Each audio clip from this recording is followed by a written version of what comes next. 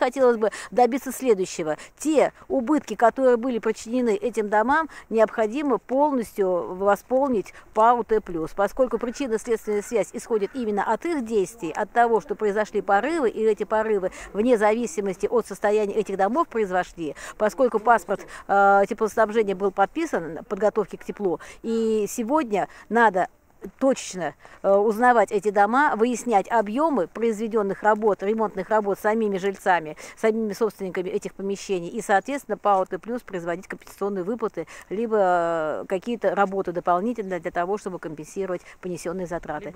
Ина, иначе, иначе, либо, либо производить перерасчет стоимости отопления. Иначе получается, первое, и услуга ненадлежащего качества, которая отсутствовала, и второе, причинен значительный э, имущественный ущерб.